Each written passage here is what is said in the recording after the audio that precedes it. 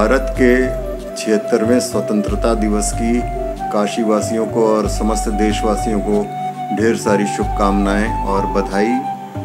मैं आग्रह करूँगा सारी जनता से कि वो अपने घर पे तिरंगा ज़रूर फहराए, क्योंकि ये हमारी आन बान और शान का प्रतीक है, हमारी स्वतंत्रता की निशानी है।